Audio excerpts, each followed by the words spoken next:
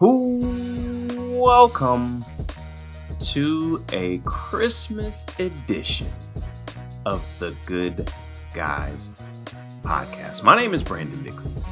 I am a happily married man and a humble father of four.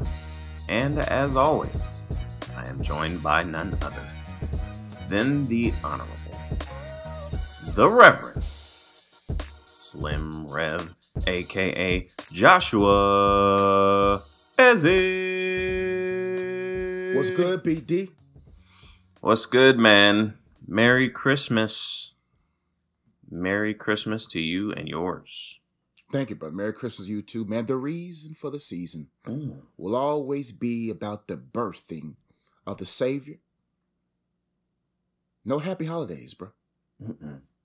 Don't try to take this from us. Merry Christmas. As the great psalmist John P. Kee once said, there would be Mm. no Christmas without you.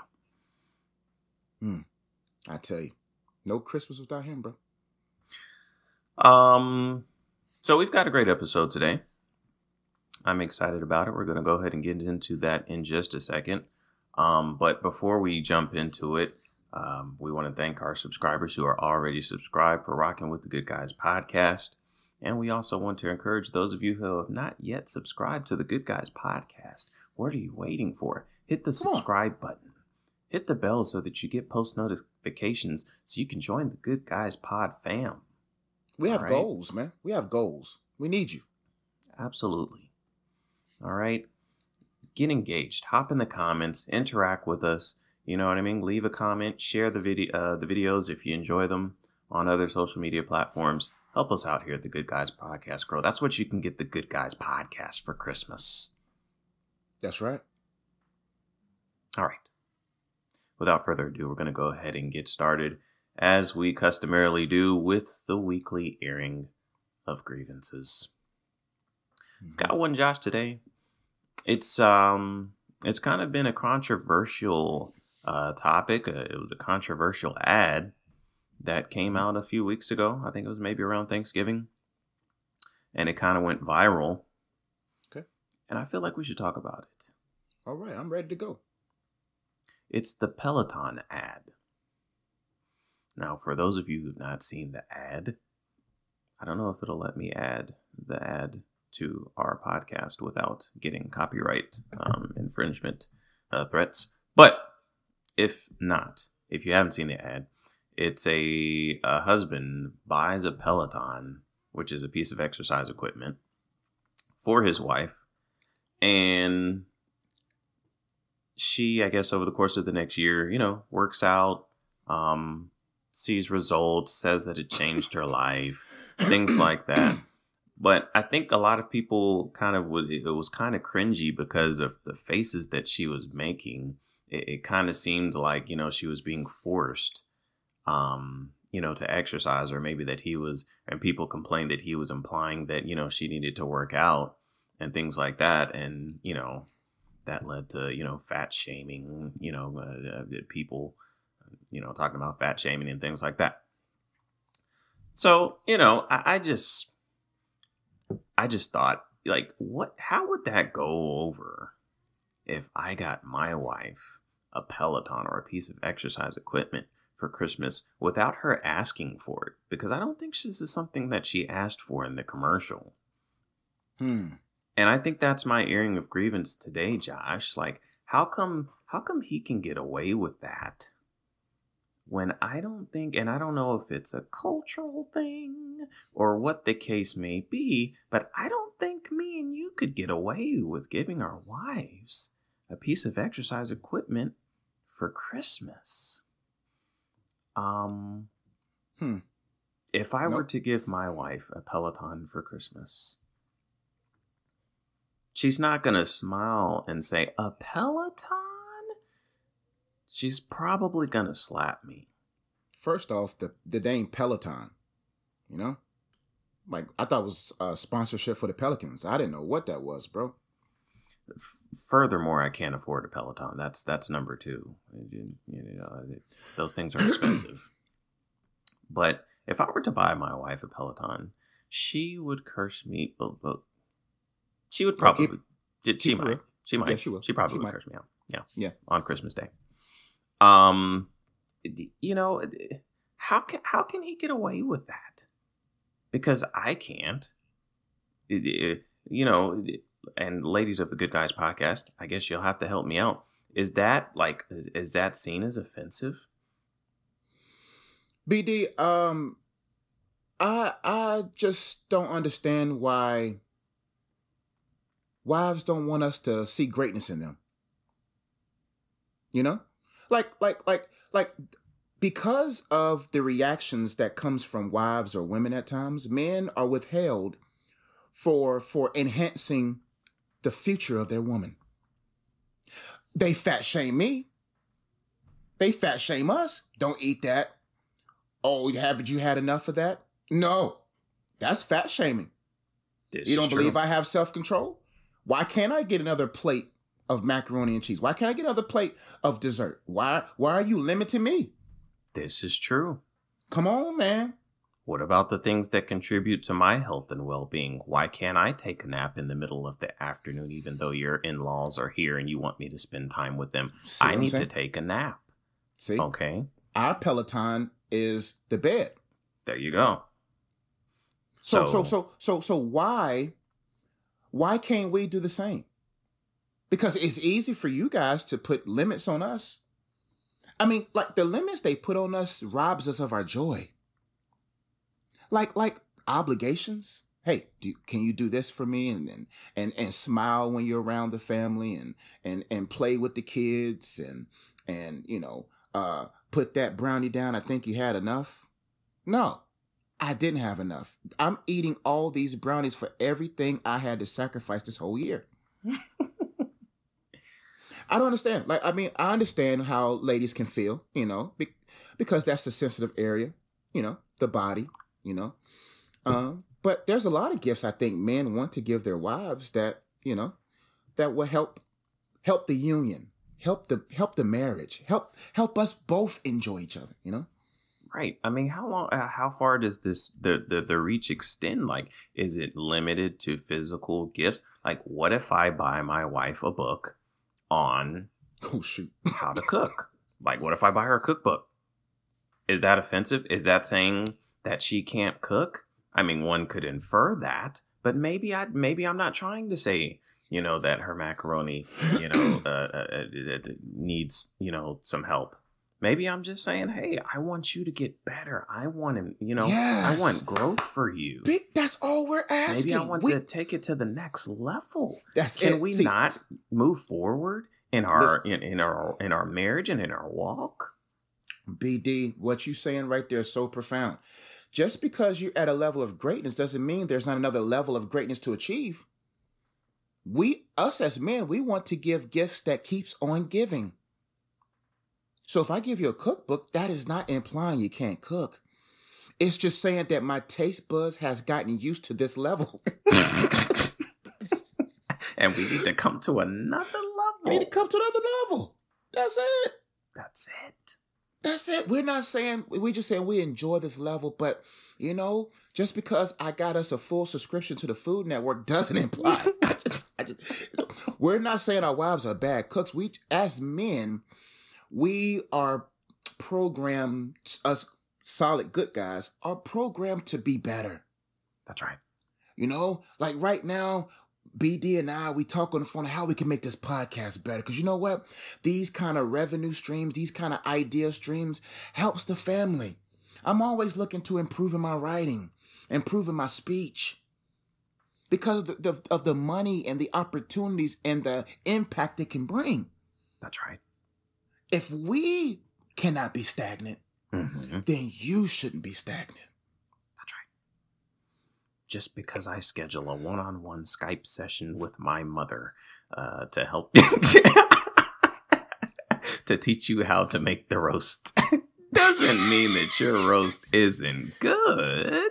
It doesn't mean it's not good. It just means that you know what I see potential in you. I see potential. The That's same thing I phrase. That I see potential in you. I see greatness. Why shall we stay here and be average? I see greatness in you, babe. It's right there. Okay, the taste is everything, but there's one specific seasoning that you're missing, and I think my mother could bring it out of you. Can bring it. It's not that it's not in you. You just need mentoring. You just need coaching. See, the Peloton comes with the video screen with the instructors wow. that are coaching wow. you to greatness. To greatness because we need you. We need you to be well, well, you know, stamina. You know, we need, we need, we need. Um, you know, when you have babies, when you have like, like we we need you to be great, and this doesn't. And I think it's a hard conversation for men to have because sometimes we avoid conversations because of the reactions. Mm. See, see, ladies, can I ask you a question? Are you truly ready for your husband to be honest? Can women, and no, I'm not gonna want to say women, but can, but can some ladies really handle honesty? Because y'all are honest with us. If we come to you and say, you know what, Mm. I see greatness. I see potential. We're giving you something that may imply that that we're ready to take it to the next notch. Are you okay with the truth? Because the truth will set you free. The truth will set us free. Specifically, us men free.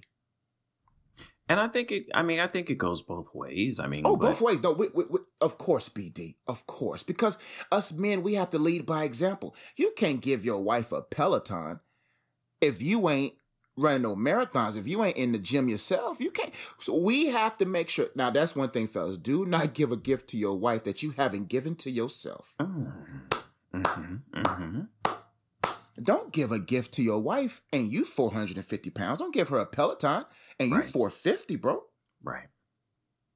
Absolutely.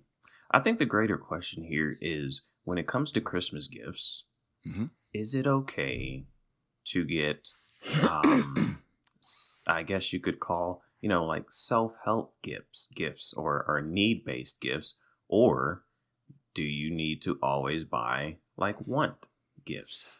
And I think us as men, we're more wired to be more practical on the practical side of things. So I think it's it's you know kind of like our train of thought goes, hey, that's right. This is something that she could use. Maybe that you know she maybe she needs more so than something that she wants. There and I don't think that's kind of how women view it. I think they prefer want gifts.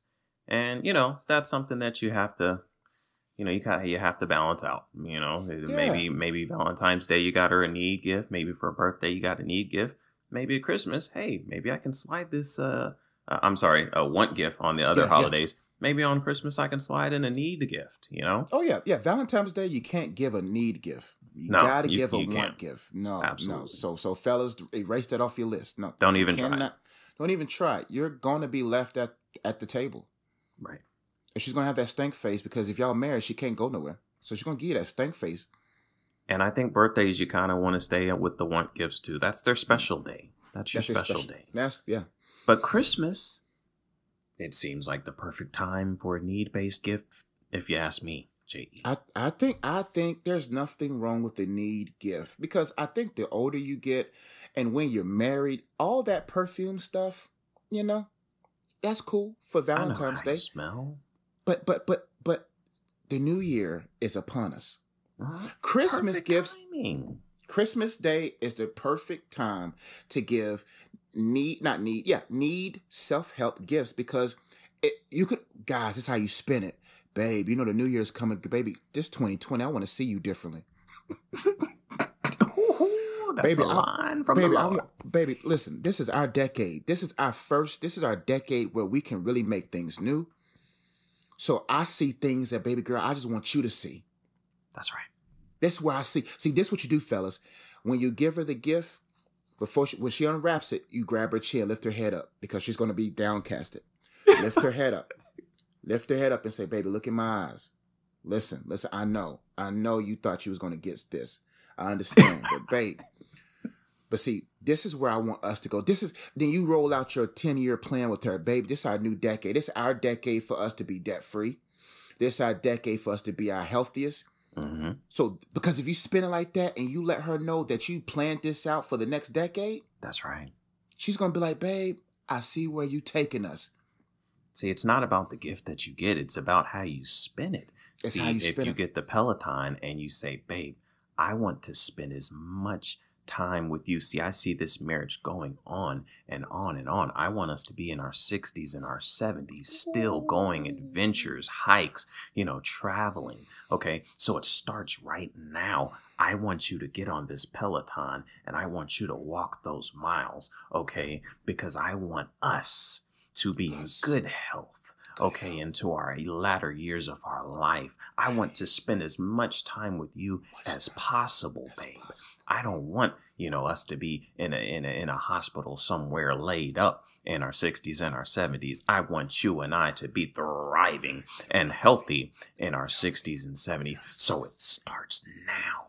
This Peloton is my heart giving it to you, babe.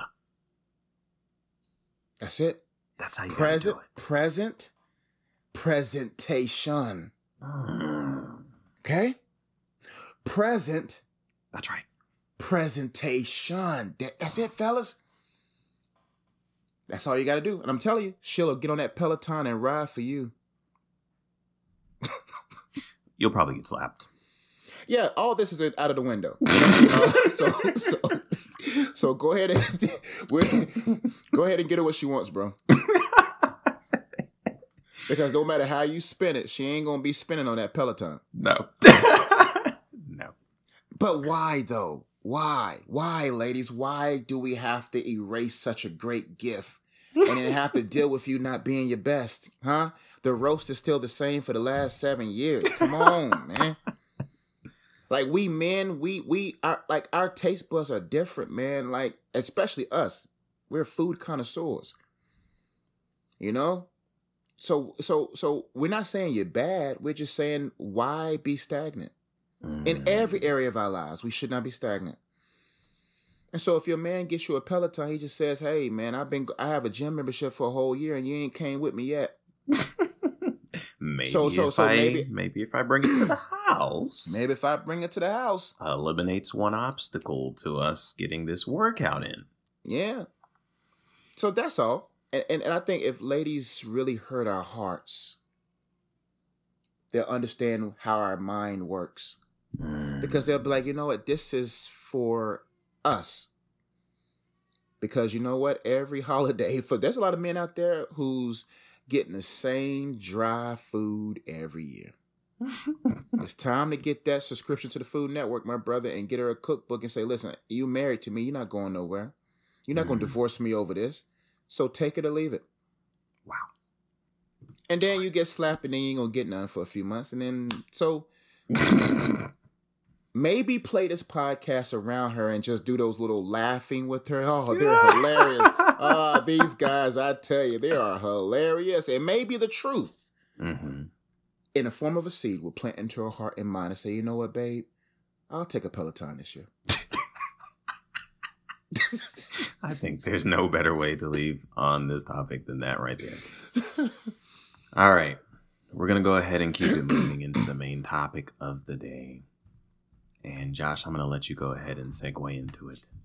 Today, we're going to be talking about what is your gift and how to give it to the world. Mm. Each and every one of us have a gift, a gift that was given to us by God to give to the world for his glory, to draw men and women back to him, their true source of life. Um, but unfortunately, there's a lot of people who are completely unaware of their giftings and or or their giftings are they're aware of but are stagnant. So today's topic is to help you do a few things. And let's break those things down. I have a lot of points, but BD is going to give me a 30 minute timer. And whatever I don't get to in that 30 minute time frame, I will go ahead and save for another podcast. But there's two things we're going to talk about um, with a lot of points and layers to them that talks about what is your gift and how to give it to the world. First off, we're going to talk about the pillars of giftings, and then we're going to talk about the process of giving your gift. Okay. The pillars of gifting is when it comes to your gift or purpose, you must establish these three things, BD. Okay. When it comes to your gift, when it comes to your purpose, you must establish these three things. You must establish your who, your what, and your why.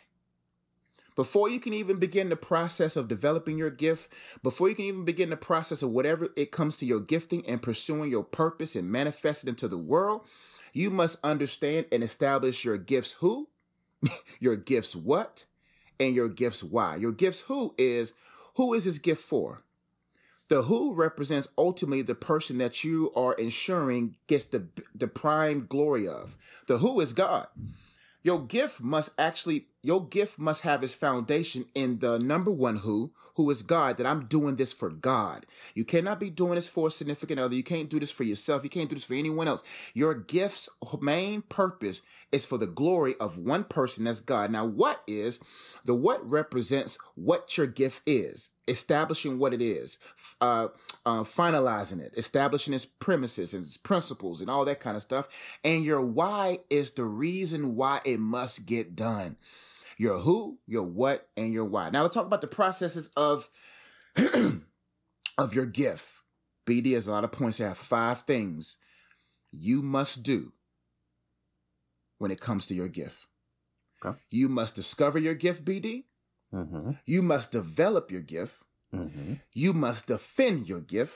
Mm. You must distribute your gift and you must dedicate the glory of that gift back to God. Five things you must do right now in order to get your gift out there into the world and ensure your gift makes room for you and bring you before great people to ensure that you have generational wealth that is passed down Generational wealth and generational faith are two important things that you and I must pass down. And every man must understand this. Fellas, listen to me closely. There are two things you and I as men must focus on as the as the leaders of our home, and that's passing down generational wealth and generational faith. Generational faith means that our children's children's children will always fear the Lord. And generational wealth is ensuring that our children's children's children's fear of the Lord is always financing the gospel financing the purpose in the kingdom of God. Now, I'm not going to go into a preaching tangent on that, but I'm going to go stay in focus on this. Five things you must do. But before I get into those, let's talk about the problem and talk about what is a gift. Let's break those things down real quick, BD.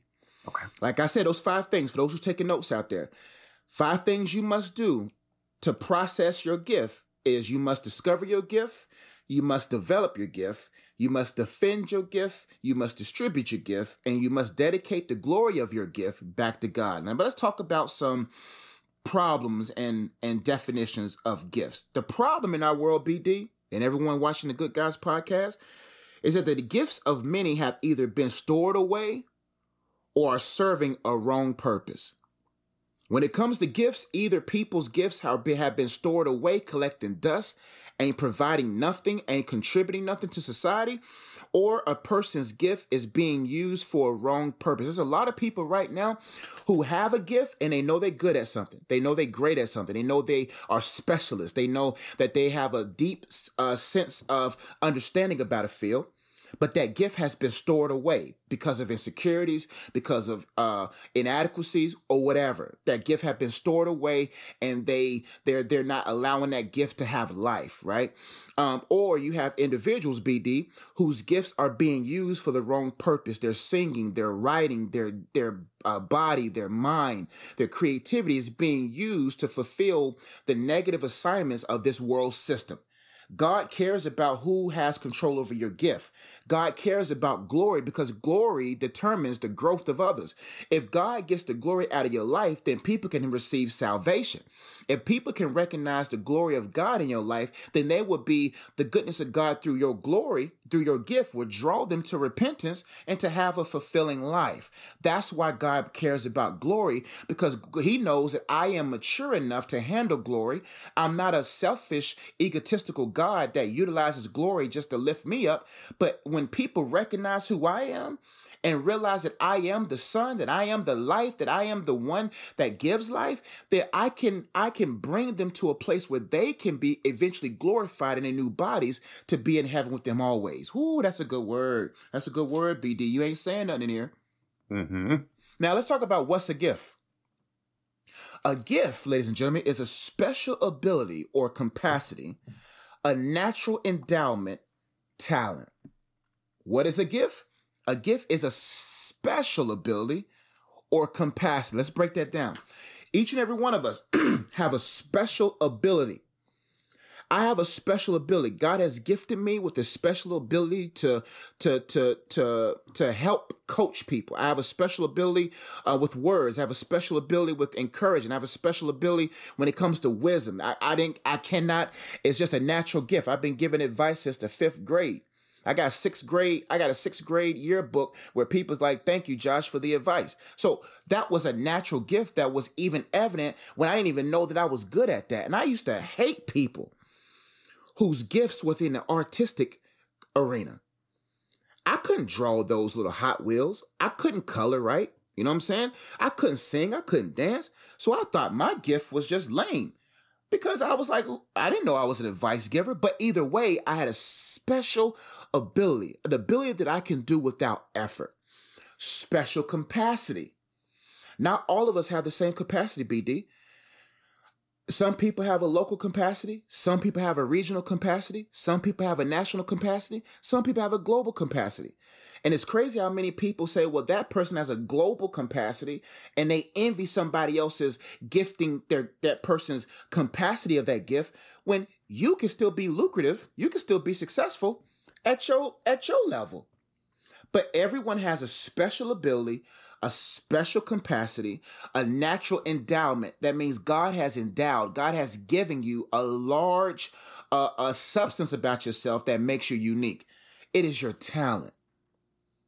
Talent is what separates you. But let's keep going. We talked about the problem. We talked about what is a gift. Now let's break down real quickly the five musts. And this is where BD can chime in.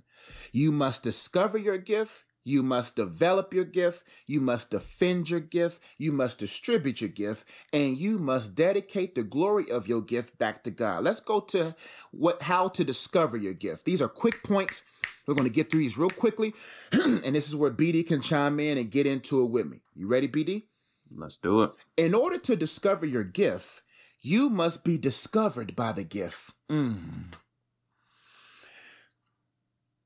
You must be discovered by the greatest gift. This gift is the man Christ Jesus. Before salvation, your gift has been tarnished. Before salvation, your gift is useless to the to the kingdom of God. Before salvation, your gift is is laid in the presence of of of the world's uh, desire for it. But when you understand the gift of Jesus and what the purpose of his life was and the purpose of his death, burial, and resurrection, then when you come into that salvation and you become a new creature, old things being passed away, and behold, all things are becoming new, and you begin to stir that gift, the gift that Paul was talking to Timothy about was stir that gift, stir the gift of salvation when you begin to understand the unity that comes with you and the Spirit of God for your sanctification, the deeper you get into that sanctification, the more pure your gift becomes the more aware you become of your gift and the purpose of it. You see what I'm saying? So now you take that gift of singing, that gift of speech, that gift of talk, that gift of dance, that gift of whatever. And as you begin to embrace the gift of Christ, you begin to see the life of that gift and see the true purpose of it. And you'll be able to say, you know what? Life is greater, is bigger than just making money off this. Life is bigger than just being successful off this alone. That this gift is designed to be given back to the gift that was given to me. In order to discover your gift, you must be discovered by your gift. The Bible says no man searches for God. The Bible talks about that if any man be drawn, if, if you're going to be drawn to Christ, you have to be drawn to him by the Father, that the goodness of God is what draws us to repentance. So in order for you to discover your gift and to really utilize it to this to this to this optimum level, you have to be discovered by the gift, and that gift is Jesus Christ himself. Anything on that, BD Because I can keep going. Uh, no, I think you covered that one pretty good. No, nothing significant to add. All right, cool. Next point, you must determine what you love and what you loathe. When you discover your gift, your gift is in what you love and what you hate. That's where you can find your true gifting. If you love to see people come together, the Holy Spirit, through the gift that was given to you by Christ, which is the Spirit, will show you your unique way of bringing people together. And when you begin to see that, wow, I like to see people come together, or for my sake, I like to see people uh, mature mature in life and grow in life and and become their best self for God's optimal use. So I'm going to find all kind of ways to discover what is my unique specific gift in making sure this happens. In order to discover your gift, you got to say, man, this is what I love to see. And this is what I hate to see. What I hate to see in the world is people being deceived. I hate seeing people not coming to truth. I hate seeing people uh, uh, die from their excuses, die from their insecurities. That's what I hate to see. So that loath, that hate, and that love to see people equipped moves me to sharpen my gift. It moves me to give my gift to the world in, in a perpetual way that even when I'm dead and gone, my gift continues to keep giving because it's motivated by what I love and what I hate. So the way I kind of look at it is like I feel like there's your gift and then there's there's your calling, right? Yeah. So your gift is like the thing, like you said, the thing that you are best at with the least amount of effort. you know what I mean? It comes easy to you. That's you know you can do that gift better than most people can. It's easy for you, mm-hmm. right? And then your calling, I think, is like what you said. You know, either something that you really enjoy or something that you loathe. You know, like so so I'm going to use this thing that I do better than anybody else. That's my gift. And I'm going to use that towards this calling. I can't stand, you know what I mean, when people, like for Josh's example, I can't stand when people are deceived. Okay, I'm to use my gift of communication, my gift of speech and advice giving towards that calling. You know what I mean? That's good. So BD. that's that's kind of the way I've always looked at it. That's beautiful, BD. That that make that puts everything together. It's like the calling. When you answer the call of God, your gift has a unique purpose now. Like now you saying, you know what, now I have something to attach this natural talent to something worthwhile. That's powerful, BD. That I'm glad you put that because that's gonna help a lot of people because your calling is your why. This must be done. You see what I'm saying? Let's keep going. In order to discover your purpose, you must dig deep. What I mean by digging deep is is because when you live life, a lot of stuff is hoarded in your heart. As you go through life, we hoard a lot of memories. We hoard we hoard a lot of negative experiences. We hoard a lot of junk. We hoard it in our hearts and it, it piles on top of our gift. It piles on top of our calling. It piles on top of why we are here. Nobody is on this planet by accident. You hear me? Your reason for living is greater than your reason for dying. We need you. We need you. Point blank, period. You was not sent here by accident. You were sent here uh, with a purpose. And when you understand that you have, see, see, whatever you identify with will determine your self-esteem. If you identify yourself with the approval or the acceptance of others, then you will die by their disapproval or lack of acceptance. But when you connect and you identify with God, then you will never be moved. And that's important. And so when you understand that, you won't look at your life and be like, well, I I I had a baby out of wedlock, or or I had a divorce, or or I had an abortion, or or or I had this type of lifestyle, or or I messed up in life. We all flawed. So when you understand that that God don't care what you have done, it's all about what y'all can do now, then you will say, you know what, how can I utilize or how can I remove all these toxic things off the top of my gifting, dust it off, polish it, and present it back to the world. It's important for us to dig deep, dig past those insecurities, dig past those inadequacies, and really find the golden uh, uh, uh, essence of who you are and connect that to God and identify with Him so that you can move on in confidence in producing your purpose. Absolutely. Um, I just think I think that's so important, and I, I think that's what happens to a lot of people. You know, life hits, and it's it's real. You know, you go through certain situations, you go through circumstances. You know, you got your nine to five job, you got your family, you got so many things that are pulling for your attention and your time and I think people's gifts and their callings do get buried under all of that. And, you know, society doesn't really push, hey, you know, go after your, use your gifts and go after your calling. Society pushes us into a factory system. Hey, That's go right. to school, uh, go to school uh, for this, incur a bunch of student loan debt, uh, which ensures that you have to work a nine to five job and, you know, you do that for the rest of your life. You're just an employee worker. When in actuality, like you said, Josh, God put us here for a specific reason. God did not put us here to just work a nine to five job and pay our bills for the rest of our lives until we die. Like you, you have a God specifically and uniquely made you with a certain set of gifts and abilities for a certain calling. So you have to dig and it, and, and it, you have to be intentional about finding out what your gifts are and what your calling is. No matter what it is that's happened to you in your life, a lot of times that will be your calling. If mm-hmm. something mm-hmm. tragic, you know, happened to you, that could be something that you loathe and you want to help other people that have gone through the same thing. So that could be your calling.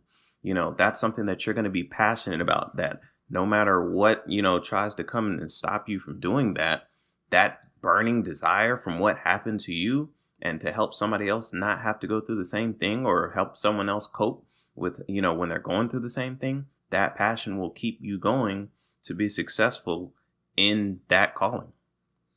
Yeah, BD, this system do not this system does not want you to be creative. They don't want you to be connected to the kingdom's resources. They don't want you connected to heaven's resources. What they want you to do is people understand that uh, the biggest people that are taxed the heaviest are workers, employees.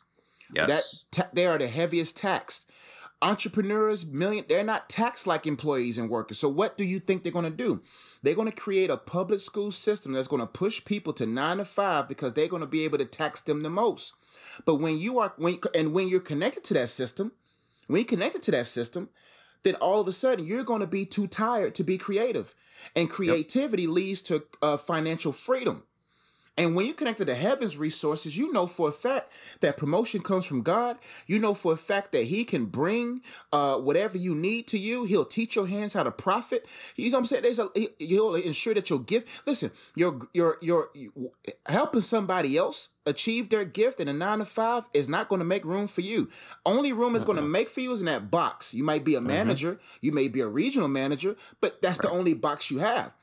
Right. Your true gift if you understand how if you understand ownership and you understand uh, uh, uh, hard work and and blood, sweat, and tears and your own efforts, then you will begin to see, man, this gift is making room for me, and now you can almost become a consultant.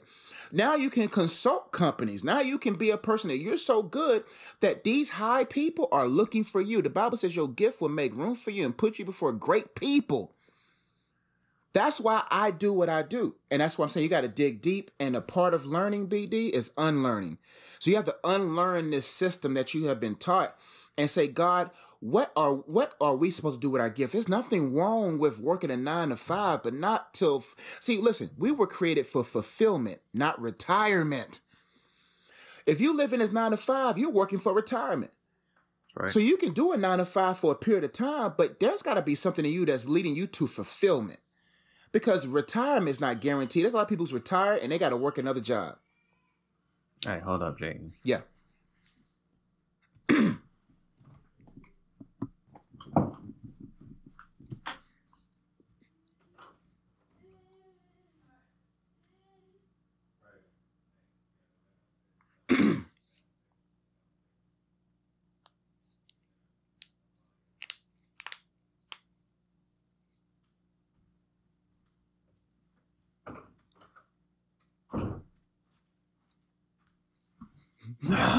Even the mornings ain't safe. These goddamn kids, man. But the good thing is the tape, the stuff is rolling, so it's an easy snip, right? Yeah, yeah, yeah. Uh, did you get that time? Uh, it was around the thirty-nine around... minute marker. Okay. Thirty-nine minute. Yeah, it's just rolling, so that's easy. All right. We can start with you if you had any points on that about the system of taxing us and fulfillment and retirement, all that kind of stuff. Oh yeah, and there and there's nothing wrong with working a nine to five job. I don't want anybody to hear this That's and real. be like, you yeah. know, oh, I'm quitting my job tomorrow. Look, I work a nine to five. Josh works a nine to five. Yeah, you got to do what you got to do. You know what I mean? But the the important thing is, don't get caught up in that nine to five and oh i'm too tired you know to do anything else like work the nine to five but make sure that you are being intentional about finding out what your gift is if you don't know what your gift is and finding out what your calling is and working on that in your spare time Listen, work offers a balance. When you work unto the Lord, you work in excellence, but you also have to understand that your work is working for you. When you work unto the Lord, you exceed the expectations of your manager, right? But when you have the mindset that this work that I'm doing is working for me, then you will you will utilize the money that you make from your job, especially if you're single. You can utilize the money for that to invest in your fulfillment. You see what I'm saying? That's the game. The game is to use them, not to use them in a bad way, because you're still working into the Lord. So you're still going to work in excellence on your job. You're still going to do what you're supposed to, but you also working on your gift on the side. So me and BD, we work nine to fives, but you know what we're doing? We're investing in something greater. We're investing in, in residual in residual wealth. I mean, uh, yeah, uh, uh, generational wealth and generational faith. You see what I'm saying? And so, so that's what we have to do. That's what we have to process because that is what's going to help us not get lost in that nine to five system. Because why do you think they call weeks week and weekends weekend? Think about that. They want you weak during your week so you can be weakened on the weekend. Think about that. Why do you words have power? Work till you're weak so that you're weakened by the weekend. Wow. I never thought about that one. Yep. That's what they call you boy the wordsmith, BD. Okay. Questions you must ask yourself when it comes to discovering your gift, right? Real quick, what are you naturally good at and what can you do effortlessly? Number two, what what um what grabs your attention regularly and what has a grip on you? When you see that commercial, you watch the whole commercial. You're like, wow, something about those kids, I gotta help. When you hear about single moms, it just grips you. That's kind of gives you an idea what your gift is, right? Now, how to develop your gift real quickly. You must decide and remove all distractions. Number one, to develop your gift, you have to say, I'm deciding. Decision is incision. Decision means to cut. Uh, decision means I'm cutting away from procrastination. I'm cutting away from being lost in the system. I'm making a decision to pursue and to ensure and develop my gift to a place where it affects people when you feel that because desire and decision are pointless without discipline in order to develop that gift you got to say you know what i got to remove all distractions because it's hard to be dis- disciplined with with open doors to distractions distractions are going to come but they must be closed off the doors of your soul is your are your eyes and your ears you have to close those doors to distractions because you have a greater vision 2020 is the year of vision all right. Next point on how to develop your gift, you have to support anything on that, BD? Mm-mm. Go ahead. You must support and surround your talent. Support and surround your talent with trainings or tools or skill sets. Talent without skill, you're just good at it, but you're not efficient at it. Efficiency is key. So the the goal is I heard someone give this quote is not about doing it till you can't get it to, it's not doing it till you get it right.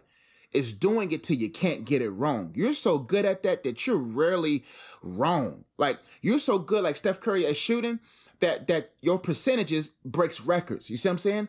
But that mm-hmm. takes work. Right. Like what do you think? Why do you think I'm so good at words? I work words. I, I like I did in my last video, I told y'all I get a Bible and I flip through the Bible and I point to a verse and I must come up with a message with it. Like last week, me and BD talked about macaroni and cheese. That's that's that is that is because I worked my words. I can find a trinity in about anything. I can I can find a message in anything because I I, I work words. I challenge myself. I developed my speaking into a skill, into an art form that I would never stop adding skills to it. I would never stop polishing it until I'm gone. Don't do it till you get it right. Oh, I got it right, and then you stop. No, no, no. I'm taking it to the next level. I'm gonna keep doing this. I'm gonna make this talent a skill. That's what determines, that's what separates good from great. You can be good at something, but are you great at it? If you, in order to be great, you got to turn your talent into a skill set. That's it on that, BD. And that's a good point because you know, like there's there's definitely a difference Like you you can have a gift and that's you and you're gonna have that. And that's gonna be something like it like you know, like we said, that's that you're naturally good at. Right. But in order to have the most impact, you know, you're gonna you are gonna have to refine that gift. You're gonna have to turn it into a skill. Like for my example, I'm I'm very creative, mm-hmm. very creative. In my mind, I can think of you know um, things that I want to do uh, visually as far as like storytelling or a video or something like that.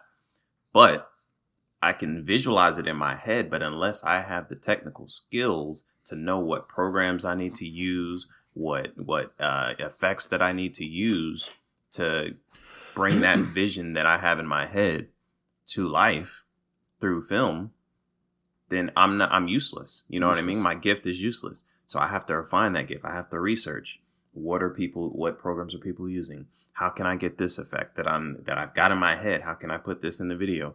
That's the work that you have to put in to refine your gifts so that you actually can reach the most amount of people and fulfill, you know, your ultimate calling. So that's an important point. You can't just, you know, get out there, all right, I've got my gift. That's cool, but you know, if it's not really refined, you might not, you know, you might not go as far as your your your, your God wants. You know, you might not achieve everything that God wants you achieve, uh, to achieve because you don't want to be. We don't want to have, you know, we want to have a spirit of excellence. That's right. As believers, like we don't want to. Oh, just because I'm doing this for God, I can be out here, you know, mediocre. No, we want to have a spirit of excellence. So refine your gift. You must refine it. There is in the refining that determines um, how far you get. See, see, skills are important. People hire, people uh, pay for skills. They don't pay for talent because talent don't last long. Now, you may get in the door through your talent, but you won't stay in the building long with your talent like that. I think people don't develop their talent because it comes so easy, and they think that's well, I could just wake up and do this. It's something called conditioning. Like, like I could be good at something, but if I like when you go to a gym, you can have you can have, you could be a better ball player than a guy, but if that guy can can run, it, it, endurance is key. Like like you can you can be whatever, man, but you got to endure. There's some people that you'll be like, I know I'm better than him, but he's in more shape though. He's more conditioned. You got to like you remember those teams. Well, I played that you uh, you occasionally got on the floor, um, and we used to get smacked by teams.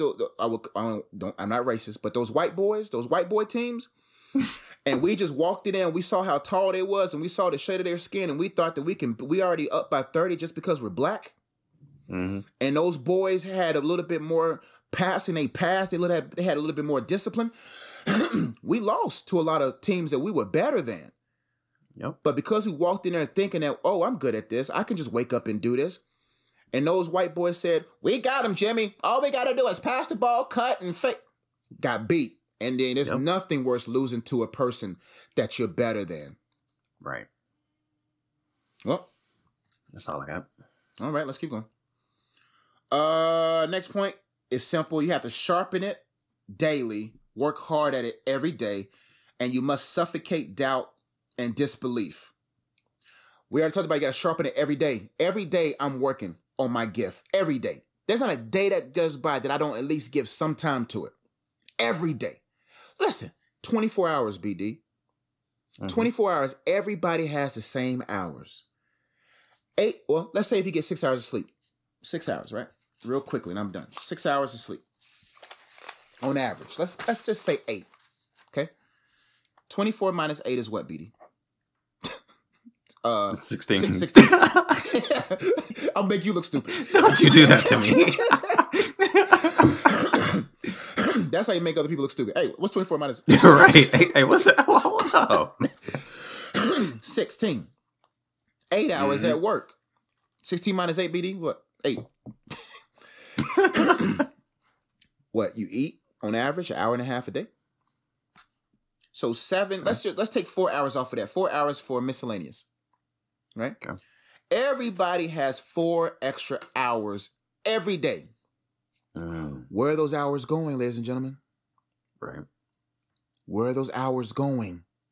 Excuse me. If you dissect your hours, you will see who you who you can see what gets the most of your energy.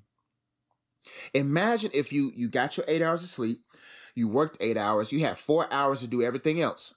mm-hmm. and you had four hours left for you. Imagine if you didn't watch that three hour basketball game. What if you didn't binge watch on Netflix? Imagine where you would be. Because Kobe Bryant says something amazing about his daughter. I listen to a lot of Kobe Bryant stuff because I connect with greatness.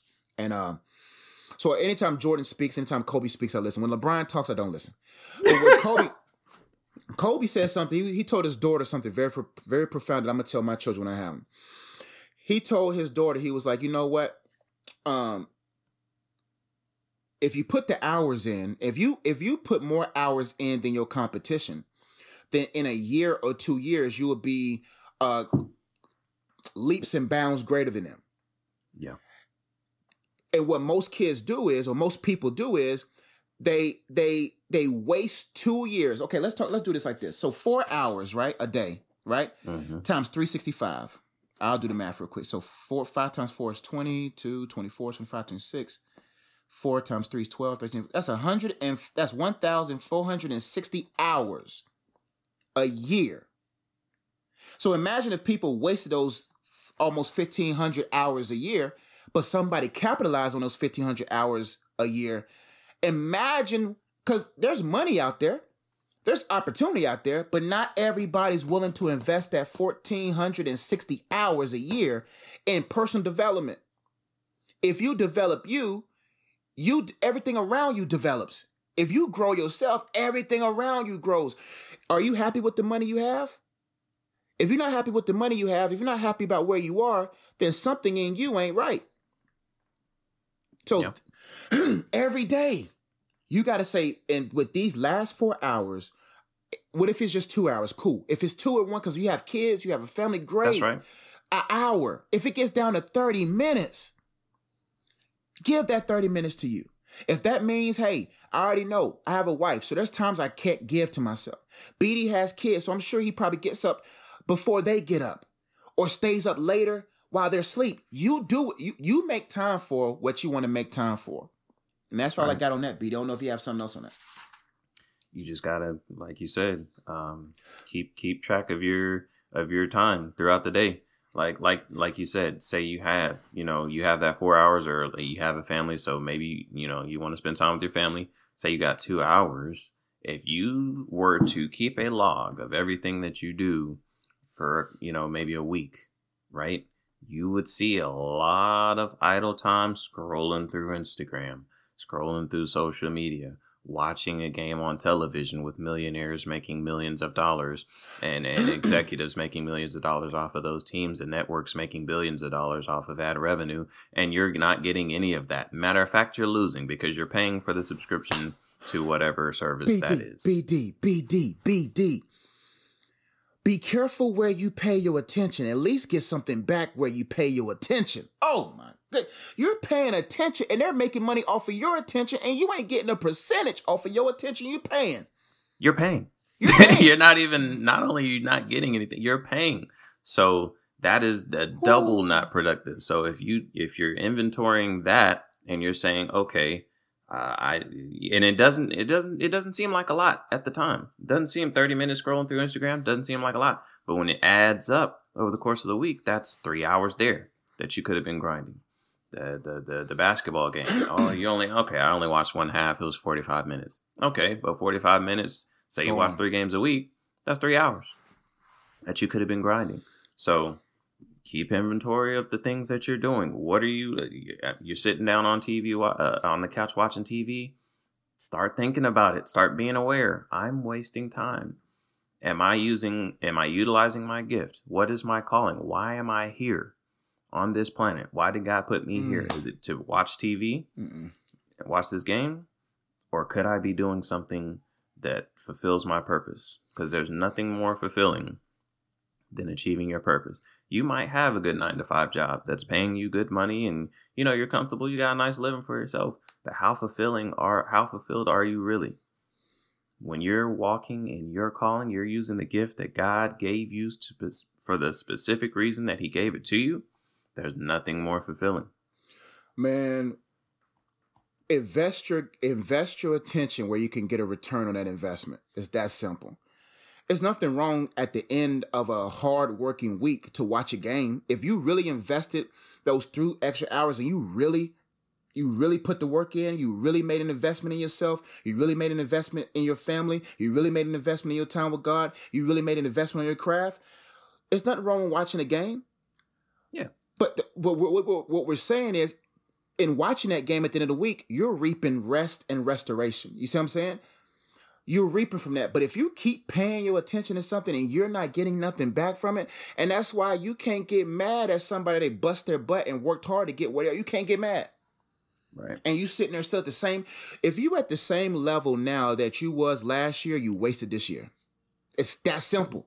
If you did not improve, if you are in the same, if you have the same vocabulary, you have the same mindset, you have the same weight or worse, you have the same ideologies, you ain't did nothing with this year. But I know, I know Instagram got a lot from you.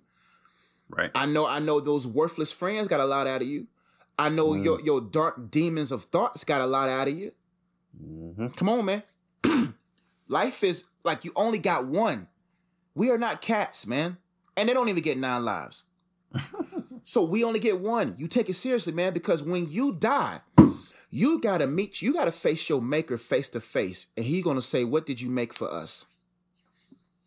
Because the Bible talks about be very careful how you build the foundation. The foundation was Christ.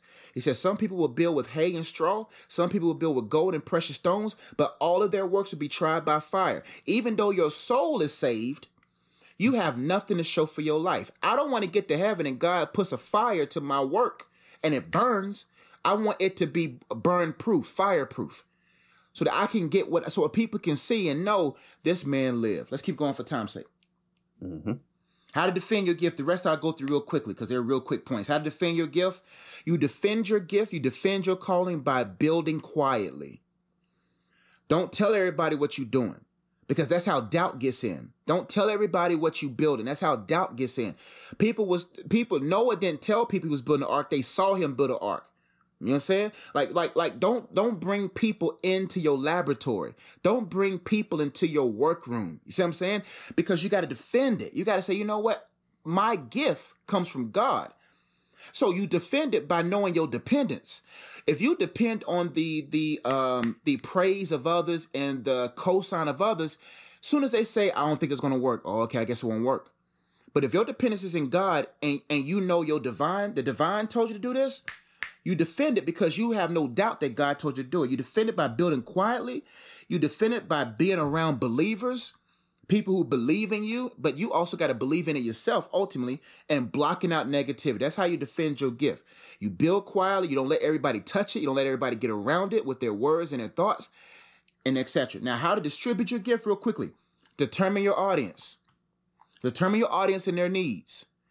That's how you that's how you distribute your gift. Okay, before I give this gift to the world, who are the people that you want me to reach, God? I'm here for the remnant. I'm here I'm here for people that really are serious about their walk with God. That's where the bulk of my energy goes. A part of my energy goes to people that wants to get to know God and I help them make sense of their life. But the ultimate goal of my books, the ultimate goal of my videos is for the people who are serious about walking with God. That's my core audience. The other audiences, they are welcome to come into that core audience, but I know who my audience is and their needs are. Am I going to be the best? Pre- am I going to be the most famous preacher with that type of goal? No. Am I going to be world renowned like that? No. Because my goal is not for, my goal is not to reach ultimately self seeking fake Christians. My goal, what's up, champ? Bruh. What's up, big time? You heard your uncle's voice and got inspired. No, he, oh, all right. He left. the truth hurts.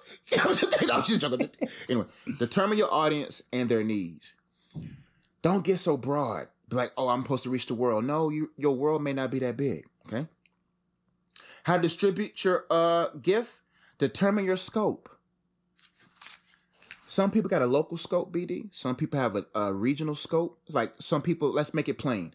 Some people got a Charlotte scope. And even within Charlotte, got a neighborhood of Charlotte. That if if the neighborhood of Charlotte is your scope of your city, cool. Charlotte may not be for you, or your city might not be your goal. If if it is Charlotte, stay within Charlotte. One thing I heard my pastor say, which was profound, he said, "Man, I got called to reach the nation, but God called me to Charlotte. So all of my efforts went to Charlotte. So I wasn't chasing conferences. I wasn't chasing national exposure. I wasn't, God called me to Charlotte. It takes maturity to stay within your scope. So, so you may have a you may have a neighborhood scope, you may have a a, a city scope, you may have a state scope, you may have a, a regional scope, you may have a national scope, or you may have a global scope. Know your scope so that you won't uh, uh, burn yourself out trying to reach a limit that you wasn't uh, built for. Like I said earlier, your gift is also a capacity. Don't don't take your gift to places that's going to break you. How to distribute your your uh, gift? Uh, deliver your gift in excellence. These people deserve excellence.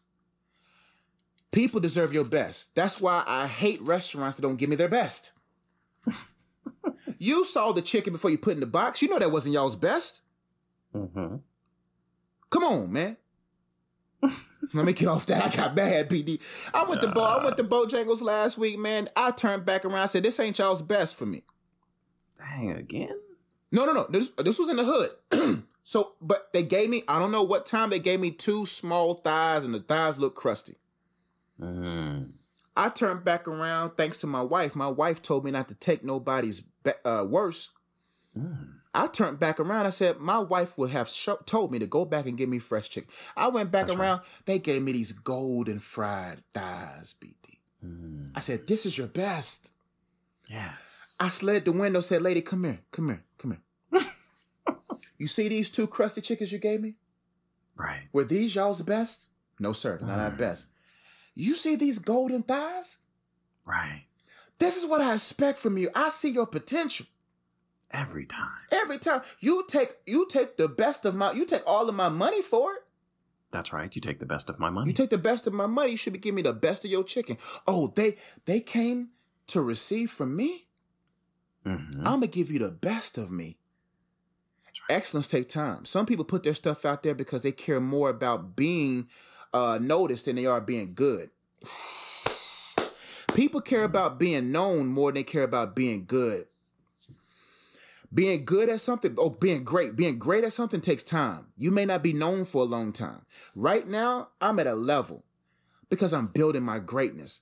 I don't care about being famous. I care about being. I care about being. Oh, let me get my words out. I don't care about being famous. I care about being faithful. Okay. How to dedicate your gift back to God and BD? We're done. What's our time? We've got about 15, 20 minutes. All right. As we come to a close, mm. the most important part is where the glory of your gift goes. Mm-hmm. How to dedicate your gift back to God. Okay. Because that's important. Constantly realize that you had to use His air and His grace to do it. It's that simple. It don't matter how good you are. You you couldn't have done it without him. The Bible says in him that we live, move, and have our being. He right. deserves glory because you imagine if God charged us half a penny for every breath we took. Mm. He could. You're using my breath, you using my air to do this, and you're not gonna give me glory? Mm-hmm. My grace is what made made you sufficient made you efficient. My sufficient grace made you efficient in your gift. And you ain't right. going to give me glory? Glory in your hands is only going to puff your head up. Glory in your hands ain't going to save nobody. You give glory back to me, I can save their souls. You can't save their souls. So when you realize that you're constantly using his air and you're constantly mm-hmm. using his grace, God, I humbly give my glory for this back to you. So when people hear how great I was, the Holy Spirit put the words out of me. He gets the glory for this. Because I was nervous before I spoke. I, I was, I'm knees weak, arms is heavy. I almost threw up my wife's spaghetti. You know what I'm saying? And so I was nervous, but because of the Spirit revved me up, I was able to do this. He gets the glory.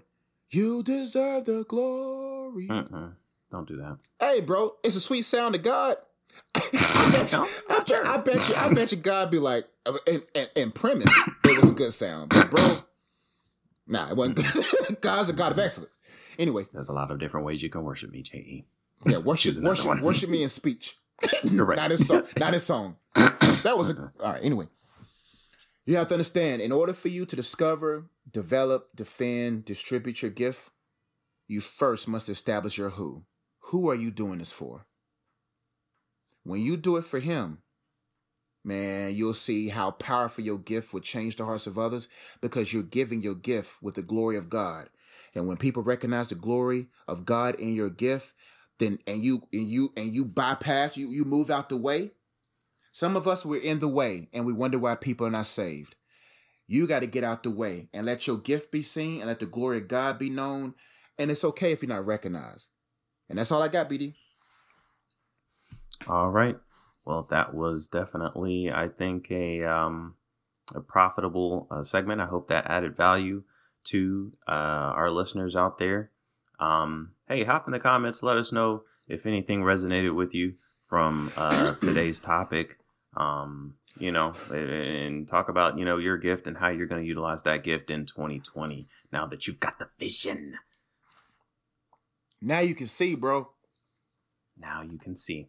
Thanks to us. All right, we're gonna keep it moving. we're gonna do a good guys top five holiday edition. Mm-hmm. Okay.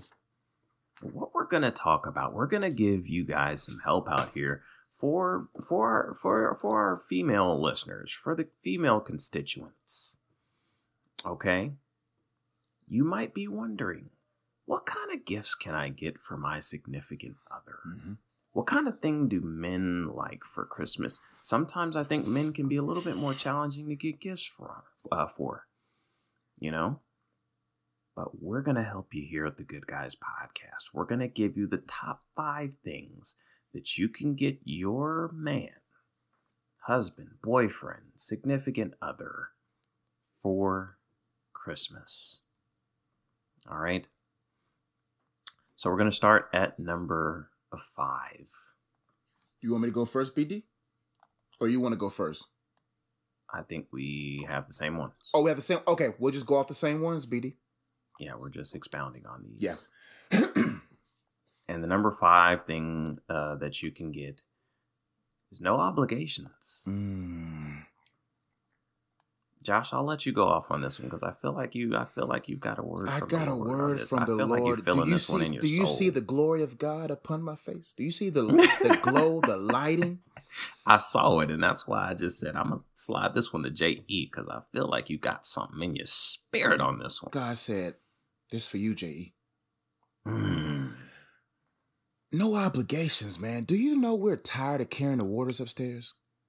Do you know that we're tired of the trash can ain't even all the way full. We could take it out tomorrow. Right. Like we don't we don't want to drive. No obligation. Mm-hmm. Wait, wait, listen. If they want if they want their gift, tell them tell them to come over here. you know what I'm saying? We want to be able to wake up Christmas Day and because you know what messes us up as men?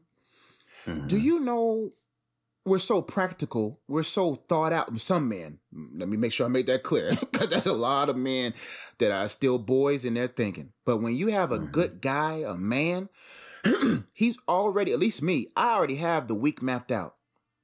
Okay. I already got things mapped out, right? And there's right. nothing better than waking up with nothing to do. Nothing mm. like like that's why I hate like mid afternoon evening things because when mm-hmm. you wake up, you still got to think, oh, okay, by four o'clock, I got to get ready for this. There's no freedom. There's no freedom. I'm obligated to be somewhere for, and it's always on a man's mind. You know what I'm saying? It's like, man, I, I can't really rest because I got to do this. Right. But when you give us the gift of no obligations, that we can just wake up and be, because sometimes y'all look at us as as heroes Mm. We talked about this in a previous podcast. If I wasn't here, you would have carried that water up the stairs.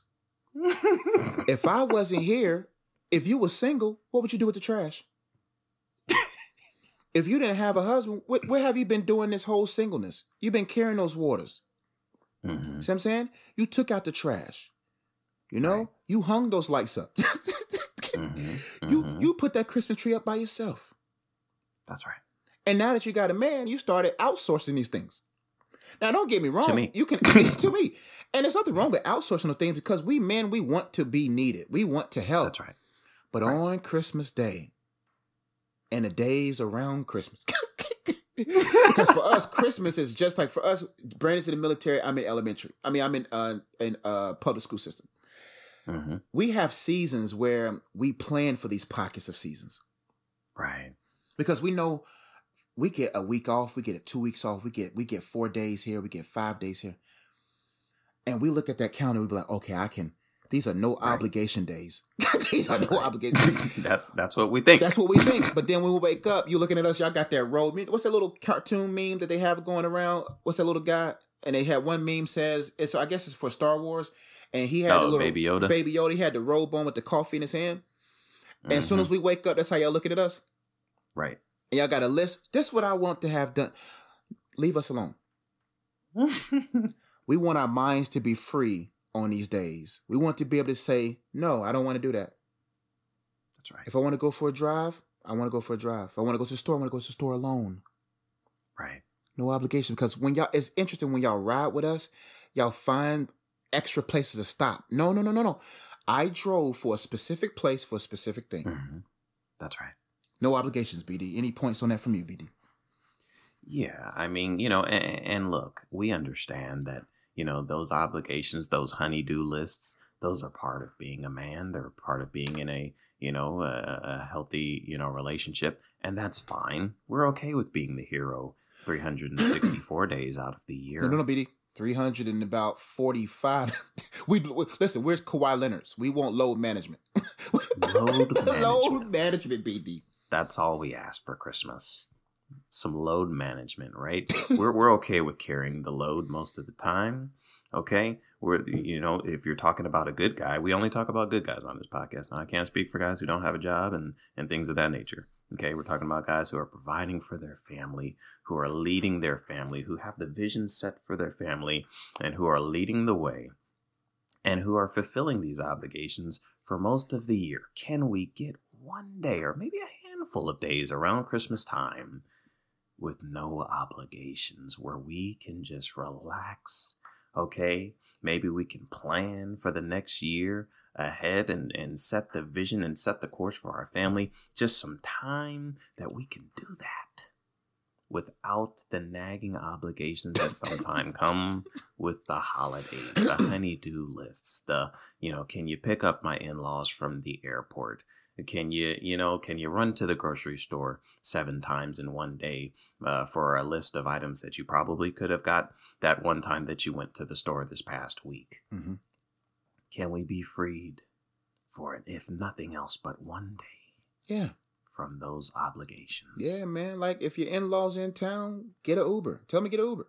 You know? Tell them to get the Uber. Like, tell your man, my man is off today, so y'all have to come in an Uber today. Uh, how about getting them a hotel? We don't want them in the house. An option. No, they don't have. Why do y'all care about these people's feelings? You should be caring about my feelings. Your there we go. I think sometimes y'all care so much about everyone's feelings, and we got to sacrifice our feelings for them. No, that must end. Your first obligation is to my feelings. If you know my husband doesn't want y'all in the house, I don't care about their feelings being hurt if it helps my feelings. I don't care because I'm like, listen, man, y'all annoying. Y'all got a hotel, okay? Y'all, y'all, I don't know. I don't feel like picking y'all up. Y'all keep mm. us from being not y'all. The society keeps us from being honest. mm. Like, uh, okay. Anyway, let's keep going. Number five, number four. Because you about to go on another thirty minute tangent. Man, I was about to go down. Saw that exit. I was about to take it, BD. Number four. A solid thank you. Mm. Okay? I, it, I feel like, and look, women do incredible work. okay? Incredible. Incredible. You guys, a lot of times, still work. Okay? You, you help with the bills. You hold down the house. You take care of it. There's so many things that women do. And I love it. Mm-hmm. You're uh, you're amazing. But you guys get thanks for what you do. Okay? You've got Mother's Day. It's the one of the biggest holidays of the year. You've got rap songs dedicated, dear mama. You know, the, the, you, you, the, the kids, they love mom. Oh, mom, don't leave the house, mom. I love my mom. Everybody does it for their mom. I get successful. I'm going to buy my mom a house. And, I, and we get a truck. What do we get? You know what I mean? Nobody cares about Father's Day. We don't get anything on Valentine's Day. Uh, uh, uh, I don't even. I don't think I got anything for my birthday this last year. It, you know, and it, it, for the most part, it's okay. I'm not tripping. I know what my responsibilities are as a man, and I take pride in handling my responsibilities in in providing for my family and being a good husband and friend to my wife. I love it. I love this life. I love the married life. It's amazing. but you know what would be nice on Christmas? Okay, if no other day, just a solid thank you for all the things that you do as a man. Thank you for getting up in the morning and going to work, uh, you know, and providing for this family. Thank you, okay, for ensuring that there is food on the table. Thank you, okay, for knocking out the bills, okay, for without those bills being paid, the electricity would be cut off, okay? Thank you for putting up with my with your in-laws over the holidays. Oh, Thank no, you for cooking Christmas breakfast. we just don't get we, we we don't hear it. I think people take for granted what men do sometimes, and I think and it, it and the reason why there's so many men not doing it. That's what it is. There's so many men who don't who not working, who aren't providing for their families, that are not faithful to their wives, who are out, you know, eh, just not there for their family, who are absent, who are running the streets. Like, can we get some credit? I know it's what we're supposed to do. I got that. But can we just get a thank you on Christmas? Yeah. Just a thank you. Yeah, BD. I think like what you said is true, man. Ladies, do not allow the negative the negatives about men have you overlook the good in yours if you got a good one. Because sometimes you don't know what you got until you've gone through something worse.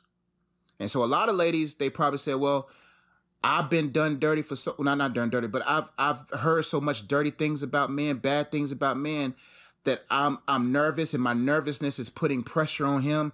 My oh, is he gonna cheat on me? is he gonna do this? And you and you and it's so much tension on the man. That the man is like, why am I why do I feel like I'm getting life or the death penalty for a misdemeanor? So what happens? You jump on that man, and that man was like, I just came home two minutes late. But but but but why? No, it's just two minutes. Do not allow the toxic uh things said about men have you put unnecessary pressure on a really good man that you have. Because I think sometimes uh with society being like that, it's almost like a good man is too good to be true. So there must be he must be doing something. That when there's an error, I don't know because he uh, because of what you've heard. So if you got you a good man, thank him because it's it's tough being a good man in this bad world. That's right. All right. Number three. If you want to help your significant other for Christmas, or maybe another, you know, uh, another, uh, any man, knock out a bill. Mm-hmm. Knock out that energy bill. That's it. That Duke energy bill that comes every month. Take that. Knock it out. Knock it out. Just knock it out. Get rid of it. Just go ahead and get rid of it. If you, that is one thing that you can remove from things that I have to do over the course of this month. If you want to see a tear coming down your man's eyes, you give him that open envelope and say, babe, mm-hmm. this right here is paid, babe. Thank you. Paid. You don't have to log in and, and you type in your username and your password that you don't remember because you've got 15 different passwords and, and, and, and have to answer the security questions that you don't remember ever setting. It's paid. Don't even worry about it. Oh, you talking about and oh, oh and then be like, babe, use that money that you would have paid for that bill on you. Right. Oh, go get oh. your go get your double waffle at Waffle House. Oh man, you talking about and oh, and your wife be like, you know what? Go there alone. Oh, we don't have to go together. Go Ooh. sit down at Waffle House. Take a good hour or two. Ooh, you talk. Order what you want. You talking about coming home and taking care of you? Ooh, you let us. You man, if you if you take care of a bill, and you say that money goes into your budget, you do whatever you want with it, and then mm. you say go and go out there and get your most favorite meal by yourself. That's a good gift, bro. We're not asking to pay rent. when, I, when I ask you to pay the mortgage, Mm-mm. no, no, no. You don't have to knock out the mortgage. Just one of those middle bills, those a significant bill. Don't be taking care of the phone bill. No, take, take, take care of something big. Take take care of something medium, like an electric bill. Number two, knock out another bill.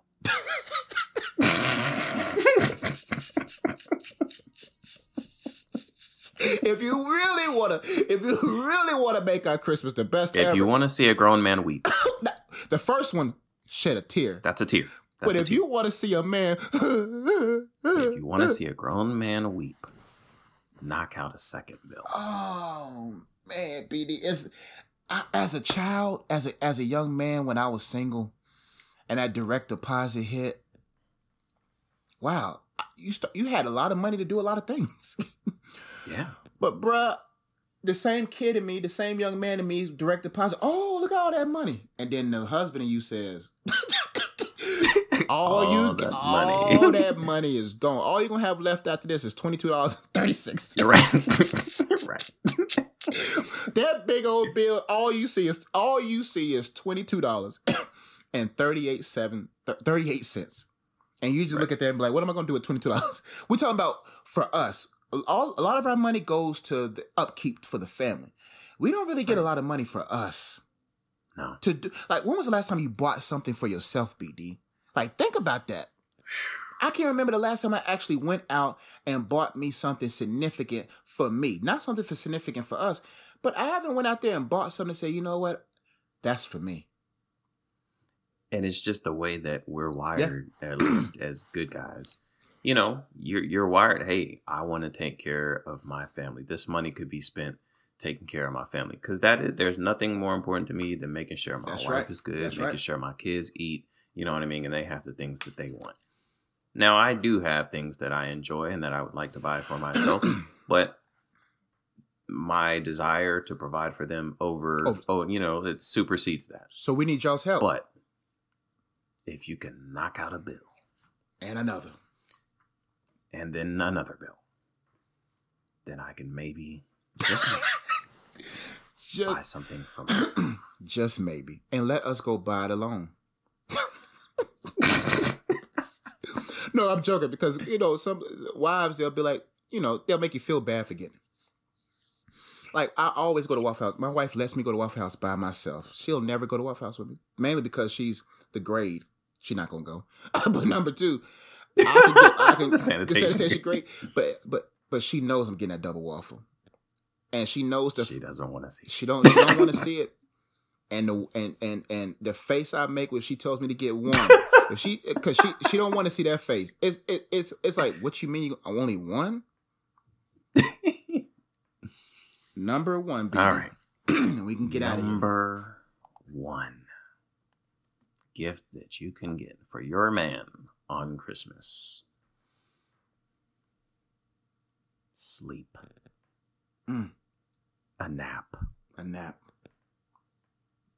Mm. Just give them, just, just, just, hey, go to the bedroom. All right, kids, leave them alone. In laws, leave them alone. I'm going to leave you alone. Turn the lights down low. Okay? Turn the soft, uh, relaxing music on and let that man take a solid nap. Solid. Not no nap that was interrupted. We talking about Mm-mm. I came Mm-mm. and found you after the nap. Right. Uninterrupted, peaceful sleep. Mm. Let him catch up on some rest. Because I guarantee you, if you've got a good guy, he is working all day, every day. And then after work, he's spending time with you and giving you, you know, the things that you need. And then after that, he's grinding on his purpose and his gifts and his calling. And after all of that, he might get maybe five or six hours of sleep. And then he gets up and he does it again. And again. Okay. And again. And again and again. The responsibility, the burden of providing for the family rests primarily on his shoulders. Okay. The responsibility to God Mm. for the, for his family, for the spiritual development and growth of his family, is on his shoulders. so if on Christmas Day he could just get a solid nap, let that man catch up on some much needed rest. That would be the most valuable gift that you can give. And and, and I, I you know, look for the ladies. I know you guys do a lot as well. You do a lot. You do so much, and you deserve rest as well. If that's the gift that you want, I'm more than happy to give it to you. But that's not the- But I that's just, not I, what y'all I've got a want. feeling That- that's not what you want. I got a feeling. So I'm not saying that the man needs rest because the woman's not doing anything. Nope, they're doing plenty too. But if that's what you want, if you want a nap for Christmas, I'll give you that. That's not what you guys want. you want the gifts. You want the, you know what I mean? And that's fine. I don't need that. Just give me a nap. That's it. I would love to give my wife a nap for Christmas. That's so, f- man. But nope, no, no, no. Y'all don't want what we we you don't want needs. You want once. Yeah, BD man, asleep is oh man, bro. To catch up on rest, because on average we get about four or five. I get about four or five hours of sleep because I have to use those four. hours. I have to use extra hours to because I I got somewhere for us to go days like those where you just let us sleep, even if it's an emergency, let us. if if it's the apocalypse, I'm going. to let us rest. You know what I'm saying, Just- we'll we'll find out when we wake up. Oh shoot, and then go back to sleep. That's how tired we are. Right. Anyway, All right. Um, I think that's about it for today. Josh, do you have a uh, weekly negative truth? yeah, man. I just want to encourage everyone out there who's find it hard, they're insecure, they, they feel inadequate. Um, the person that gave you the gift gave it to you for a reason, and he sees greatness in you. He don't see greatness in you. He see the greatness of his spirit in you that will ensure that greatness comes out of you. That's important. Uh, you're not going to be able to do your gift for God's glory and for kingdom advancement without His help, without a humble heart. And for those out there that are doing exceptionally well for your gift, and you're making a lot of money, you well known, and you're successful, who's getting the glory for real? If your heart is not leaning towards God being glorified, then when your work is tested by fire, you won't have nothing to show. That's all I got, BD. All right. Well, that's all we've got for today here at the Good Guys Podcast. I hope you guys enjoyed it. If you did, hit that subscribe button if you haven't done so already. Hit that bell so that you get post notifications so you know whenever we drop a new episode of the Good Guys Podcast. Like, comment, share the podcast on your social media platforms. Help us grow here at the Good Guys Podcast. That's what you can get us for Christmas. Uh, give us a subscribe at the Good Guys Podcast. That's all we ask. Yeah, share this. Hey, it's Christmas. This video, if It's Brandon does what he's supposed to do, will be dropped on Christmas Eve. If we have been a gift to you this whole year, and you want to give a gift that keeps on giving, watch this with your family. Share this with everyone you know. Like, subscribe, do all that stuff BD says. That's the gift that we'll like from you on this Christmas. Absolutely. Oh, if you want to donate too, if you want, if you want to help us knock out a bill, because our wife ain't gonna probably do it this Christmas. If you want to help us knock out a bill, man, we don't have no link. Go to iamunplugged.com. Give through there and put Good Guys Podcast. Do you have a cash app, BD? Yes, I do. Nah, I ain't gonna do that to y'all. Just, we love you. Merry Christmas. Absolutely. Also, check out the Blue Peace Crew. Oh, yeah. Uh, on YouTube. Check out the Blue Peace Crew. Hit the subscribe button there as well. That's how you can help BD for Christmas. Okay.